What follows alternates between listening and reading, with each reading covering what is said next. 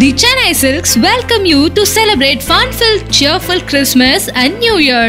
நான் போனால் அடி மச்சான் ஆடி மச்சான்னு சொல்லுவோம் எனக்கு குடிக்காமல் இருக்க முடியல அப்படின்னு சொல்கிறாங்க நல்லா குடிச்சிட்டு இறந்து போகிறவங்களும் இருக்காங்க. ஃபுல் குவார்ட்டர் மாதிரி ஃபுல்லாக குடிச்சிட்டு ஒரு வாட்டர் பேக்கெட் ஃபுல்லாக முழுங்கிட்டு மூட்டையை தூக்கிட்டு போகிறாரு நான் பார்த்துட்டு ஸ்டன் ஆகிட்டேன் இப்போ வாக்கிங் போனால் யாருமே இழைக்க மாட்டாங்கங்க. மெயின்டெனன்ஸ் தான் வாக்கிங் பண்ணும். நேச்சுரல் ஸ்வீட்னஸ் அதெல்லாம். அதுக்கு சர்க்கரை போட்டு சாப்பிடக்கூடாது. சர்க்கரை வந்துட்டு டெட்லி பாய்சனஸ் அது. அவங்க ஒரு இடத்துல இருந்து உட்காந்து எழுந்தாங்க அங்கே போய் நம்ம உட்காந்தா சூடுதுடி இந்த அளவுக்கு சூட்டு உனக்கு? வெள்ளப்படும் பசங்களுக்குன்னா ப்ரீமெச்சர் எஜாக்குலேஷன் அந்த மாதிரிலாம் கண்டிப்பாக ஒரு வெயிட் சாக்லேட் சாப்பிட்டு வெயிட் கெயின் பண்ணுறதுலாம் டோட்டலி ராங் இன்டென்ஸ் ஒர்க் அவுட்னு ஒன்று இருக்காது. That can come in cricket இந்த மாதிரியான விஷயங்கள்ல நல்லா அந்த ஃபுல்லாக தானே போகுது. இப்போ நம்ம பரோட்டா சாப்பிடும்போது நல்லா மென்று மென்று மென்னுவோம். ஆனால் அது ரெண்டு ரெண்டாக பிரியெல்லாம் பிரியாது. அது பாட்டுக்கு திருப்பி கோந்து மாதிரி தான் உள்ளே போகும். இப்போ நம்ம யூடியூப்பை தொடர்ந்து பார்த்தோம்னாலே வெயிட் லாஸ் வெயிட் லாஸ் அப்படிங்கிறது ரொம்ப பெரிய ஒரு சர்ச் இன்ஜின் மெட்டீரியல் ஆயிடுச்சு. கண்டிப்பாக பட் இருந்தாலும் நிறைய பேர் வந்து இந்த ஸ்கின்னியாக இருக்கவங்க நிறைய பேர் அப்போ நாங்களாம் என்ன பண்ணுறது எங்களுக்கு வெயிட் கெயின் பற்றி ஏதாவது சொல்லுங்க அப்படிங்கிறாங்க. வெயிட் கெயின் என்ன மாதிரி பண்ணலாம்? ஓகே வெயிட் கெயின் வந்துட்டு நிறைய பேர் தப்பாக யார் கெயின் பண்ணுறான்னு சொல்லிடுறேன். நல்லா சும்மாவே உட்காந்து ஜங்க் நிறைய எடுத்துக்கிட்டால் வெயிட் கெயின் ஆகுது. ஆனால் அந்த வெயிட் கெயின் எங்கே போடுதுன்னா தொடை பகுதிகள் தொடை பகுதிகள் வயிற்று பகுதி க இந்த வாய்க்கு கீழே இந்த ஜா லைன்லாம் இதாகிறது டபுள் சின் விழுகிறது இங்கெல்லாம் வந்துட்டு வெயிட் கெயின் ஆகும்போது முகம் மட்டும் பெருசாகும். இது டோட்டலி ராங் அது வந்துட்டு அவங்களுக்கு ஒல்லியாக இருப்பாங்க ஆனால் கொலஸ்ட்ரால் இருக்கும் அவங்க உடம்புல. தப்பான முறையில் வெயிட் கெயின் பண்ணுறது வெயிட் கெயின் பண்ணணும்னு நினச்சிட்டிங்கன்னா ஃபஸ்ட்டு பண்ண வேண்டிய விஷயம் மசில் ஸ்ட்ரென்த்தை ஏற்றுது மசில் கெயின் பண்ணணும் நம்ம. ஸ்ட்ரென்த் ட்ரைனிங் பண்ணணும்னு சொல்லுவாங்கல்ல. ஒன்றா ஜிம் போங்க இல்லைனா நார்மல் வாக்கிங் போங்க. Mild walkers should be done நான் வெயிட் கெயின் பண்ணுவேன் ஆனால் வாக்கிங்லாம் போனால் இன்னுமே இழைச்சிருவோம் வாக்கிங் போனால் யாருமே இழைக்க மாட்டாங்கங்க. மெயின்டெனன்ஸ் தான் வாக்கிங் பண்ணும்.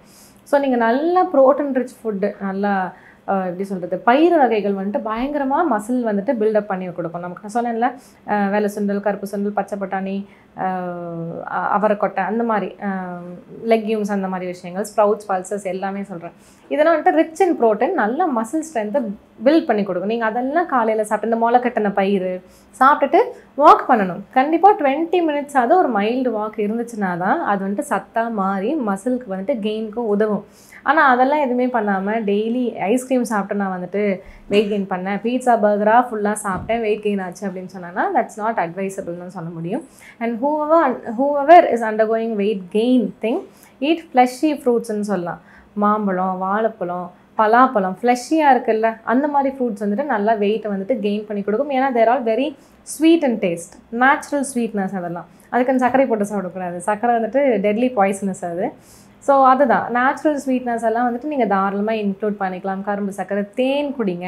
தேன் வந்துட்டு வெயிட் லாஸுக்கும் உதவும் வெயிட் கெயினுக்கும் உதவும். பாலில் வந்துட்டு நல்லா ஒரு ரெண்டு ஸ்பூன் தேன் ஊற்றி நல்லா குடிச்சிங்க அப்படின்னா நல்லாவே ஒரு வெயிட் கெயின் இருக்கும். குல்கந்து சாப்பிட்றது நொங்கு சாப்பிட்றது இதெல்லாம் வந்துட்டு அதாவது குளிர்ச்சியான உணவுகள் நீங்கள் எடுத்துக்கும் போது நல்லாவே உடம்பு வந்துட்டு குளிர்ச்சியாகும்.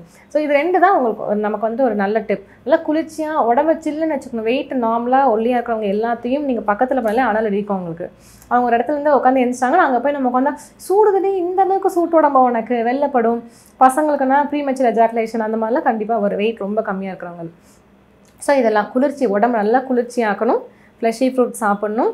கண்டிப்பாக ஒரு டுவெண்ட்டி மினிட்ஸ் ஆகுது அவங்களோட டெய்லி ரொட்டீனில் வாக்கிங்னு ஒரு விஷயம் இருக்கணும். கொஞ்சம் இந்த ஹைப்பர் ஆக்டிவாக இருப்பாங்க. வெயிட்டு ரொம்ப உள்ளியாக இருக்கிறவங்க. கம்மியாக சாப்பிட்டு ஓவராக வேலை செய்கிறது அப்போ உடம்புல உணவே இல்லைன்னு தானே அர்த்தம். ஸோ கொஞ்சம் இந்த சுறுசுறுப்பு இந்த ஹைப்பர் ஆக்டிவ்னஸை கொஞ்சம் அமைதி பண்ணி மூச்சு பயிற்சிலாம் போனாங்கன்னா கண்டிப்பாக ஒரு வெயிட் கெயின் வந்துட்டு இருக்கும். அண்ட் அண்ட் ஆல்சோ இந்த வீடியோவை கடைசியாக வச்சுட்டு இதில் சொன்னதை அப்படியே ஃபாலோ பண்ணணும். இந்த டாக்டர் எனக்கு சொன்னது பிடிக்கல. அடுத்த டாக்டர் பார்க்கலான்னு போகாதீங்க. எல்லா டாக்டரும் கஷ்டமாக தான் சொல்ல போகிறாங்க யாரும் இப்போ ஈஸியாலாம் சொல்ல போகிறதில்ல ஸோ சாக்லேட் சாப்பிட்டு வெயிட் கெயின் பண்ணுறதுலாம் டோட்டலி ராங் அதெல்லாம் வேண்டவே வேண்டாம். அதே போல் இப்போ இன்னொரு இது வந்து இதுவும் சேம் அந்த பாடி இதை பற்றி தான் ஆஹ் இப்போ நிறைய பார்த்தீங்கன்னா குழந்தைங்கள் வந்துட்டு பார்த்தீங்கன்னா எல்லாமே நிறைய ஒபிசிட்டியை வந்துட்டு மீறி போயிட்டு இருக்காங்க. கண்டிப்பாக இப்போ அந்த குழந்தைங்க வந்து எப்படி சொல்றது பேரண்ட்ஸால கண்ட்ரோலும் பண்ணவும் இல்லை.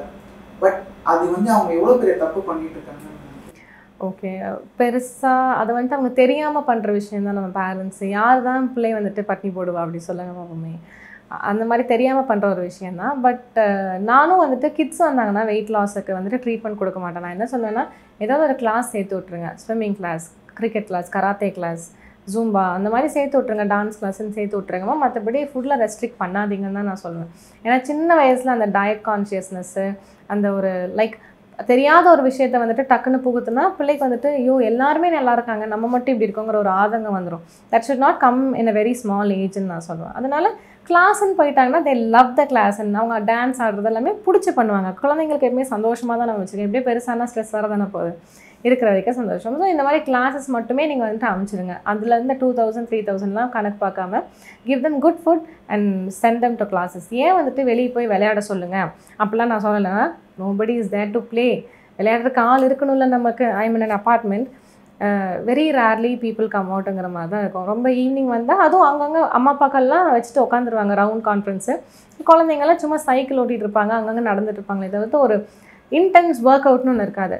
That can come in cricket இந்த மாதிரியான விஷயங்களில் நல்லா அந்த வேர்த்து விறுவிறுத்து வேலை செய்கிற ஒரு விஷயம். அது ஸோ கிளாஸஸ் அனுப்பிடுறது பெஸ்ட் இப்போ.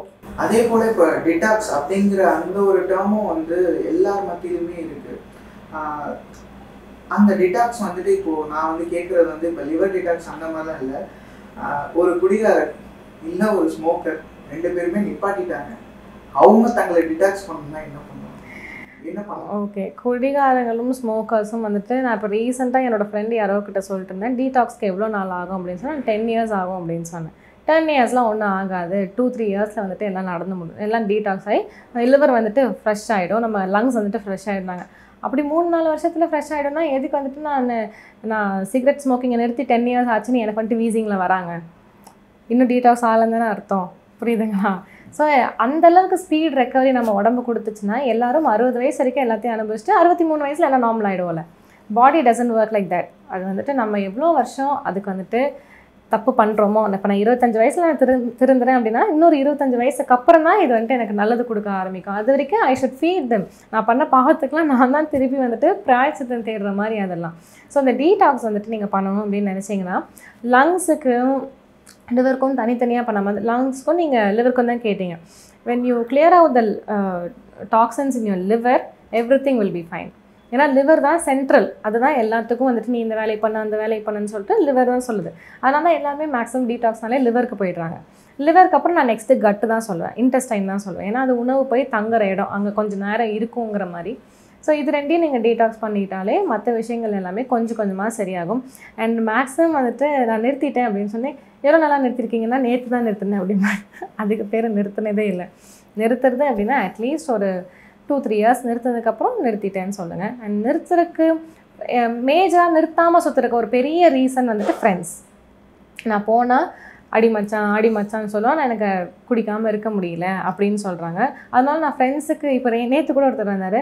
அப்போ கிட்டத்தட்ட ஒரு ஃபைவ் சிக்ஸ் இயர்ஸ்க்கு நான் ஃப்ரெண்ட்ஸ் எல்லாத்தையுமே கட் பண்ணணும் நம்பரை மாற்றணுங்கிறாரு ஃபோன் நம்பரை மாற்றுறீங்களா அந்த மாதிரிலாம் மக்கள் பேசுகிறாங்க அப்போ மேபி ஃப்ரெண்ட்ஸ் கொஞ்சம் சப்போர்ட் பண்ணுங்கன்னு சொல்லலாம். யார் யாருக்கு என்னென்ன மாதிரி அது எஃபெக்ட் ஆகும்? ஒரு சிலவங்க வந்துட்டு நல்லா குடிச்சிட்டு இறந்து போகிறவங்களும் இருக்காங்க. இறந்து போனதுக்கப்புறம் அந்த பையனை பற்றி ஃபீல் பண்ணி நம்ம என்ன பண்ண போகிறோம் ஸோ ஒரு வேளை யாராவது திருந்தணும்னு நினச்சாங்கன்னா மேபி எல்லா ஃப்ரெண்ட்ஸும் சேர்ந்து ஹெல்ப் பண்ணலாம். அதுக்கும் குடிப்பேன் ரைட்டு ஸோ அதை தான் சொல்கிறேன் அந்த பயம் வந்துட்டு வர மாட்டேங்குதுங்க அதனால மேபி இருக்கலாம். ஸோ இப்போ ட்ரிங்கிங் ஸ்மோக்கிங்கை விடவே ரொம்ப ஆபத்தானது இப்போ ஜங்க்கு அதை நம்ம வந்துட்டு இப்போ எப்படி நம்ம படத்துலலாம் வந்துட்டு ஸ்மோக்கிங் இஸ் இன்ஜுரியஸ் அந்த மாதிரிலாம் சொல்லும்போது ஜங்க்குன்னு போட்டே ஆகணும். வெளியே உணவை சாப்பிடாதீங்கன்னு போட்டால் தான் கொஞ்சமாக தான் அந்த அவேர்னஸ் கிடைக்கும்னு நினைக்கிறேன். அதெல்லாம் தேர்ட் டிகிரி ஆஃப் ஹெல்த் ஹசார்டுன்னு நினச்சிட்டு இருக்காங்க. தட் கம்ஸ் வித் ஃபர்ஸ்ட் டிகிரின்னு நான் சொல்லுவேன். இப்போ கூட ஒருத்தர் வந்து நம்ம இப்போ நிறைய பேர் வந்து மைதா வந்து ரொம்ப டைஜஸ்டிவ் இதுக்கு வந்து ரொம்ப மோசமானது அப்படிலாம் பேசிட்டு இருக்கும்போது சமீபத்தில் ஏதோ ஒரு நிகழ்ச்சியில் வந்து ஒரு டாக்டர் வந்து மைதாவை குழந்தைங்களுக்கு கொடுக்கலாம் அப்படின்னு சொல்லி ஒரு டிபேட்டை உருவாக்கியிருக்காரு அதை பத்தி நீங்க என்ன? ஸோ டாக்டர் என்ன சொல்கிறாங்க. சொல்றாங்க.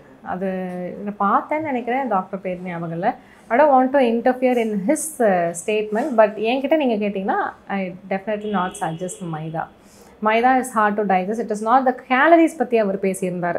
ரைட் எஸ் அவர் வந்துட்டு கோதுமையிலே இந்த கேலரி தான் இதுலேயே இந்த கேலரி தான். கேலரிஸ் பற்றி நம்ம பேசுறது வந்துட்டு தட் இஸ் செகண்ட்ரி நம்ம வந்துட்டு உடம்புக்குள்ளே அது என்ன பண்ணுது அப்படின்னு கேட்கணும். That is sticky that is அப்படியே இப்படி போட்டால் இழுக்கும். மைதாவை நீங்கள் வாயிலேயே அரைக்க முடியாது நம்மளால் ஃபுல்லாக தானே போகுது. இப்போ நம்ம பரோட்டா சாப்பிடும்போது நல்லா மென்று மென்று மென்னுவோம். ஆனால் அது ரெண்டு ரெண்டாக பிரியலாம் பிரியாது. அது பாட்டுக்கு திருப்பி கோந்து மாதிரி தான் உள்ளே போகும்.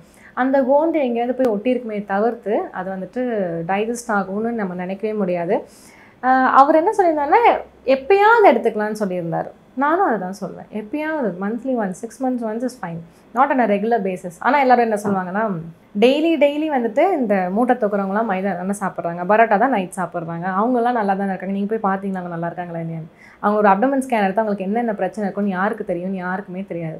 இப்போ நாங்கள் சவுகார்பேட் போகும்போது நான் ஒரு நாள் காரில் உட்காந்துருந்தேன் ஒருத்தர் ஃபுல் குவார்ட்டர் மாதிரி இவ்வளோ இவ்வளோ பெரிய பாட்டில் ஃபுல்லாக குடிச்சிட்டு ஒரு வாட்டர் பேக்கெட் ஃபுல்லாக முழுங்கிட்டு மூட்டையை தூக்கிட்டு போகிறாரு நான் பார்த்துட்டு ஸ்டன் ஆகிட்டேன் அப்போ அவருக்கு சிக்ஸ் பேக்ஸ் வேறு. நல்லா சூப்பர் உடம்பு அவருக்கு.